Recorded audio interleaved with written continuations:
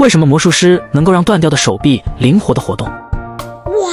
因为魔术师用到了一个跟皮肤颜色非常相似的断手魔术道具，表演前将自己的手臂放进这个道具里面，利用角度错位的原理，就能让正前方的观众看起来就像拿着一只断臂在手中把玩。除此之外，另外一只手也需要戴上手套，避免观众怀疑哦。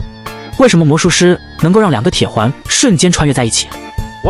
因为魔术师的其中一个铁环有个缺口，表演前把这个缺口夹在小指的位置隐藏着，紧接着两个铁环敲打的瞬间，另一个铁环就会从这个缺口进入，只要速度够快，就能实现铁环穿越的魔术效果。为什么魔术师把矿泉水倒进杯子里面，竟能够让它消失不见？因为魔术师事先就在杯子底部加入一种叫凝固粉的秘密武器，这种粉末能够让液体瞬间凝固，所以表演的时候只需要往杯子倒入液体，再等待两秒钟，液体就会凝固在杯子底部，就算把杯子倒过来也没有任何问题。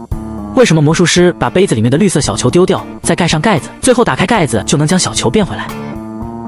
因为魔术师的杯盖上面还隐藏了一个半圆球壳，所以在表演的时候把绿色小球拿走，再盖上盖子，最后再把最上面的盖子拿起来，留下半圆球壳即可。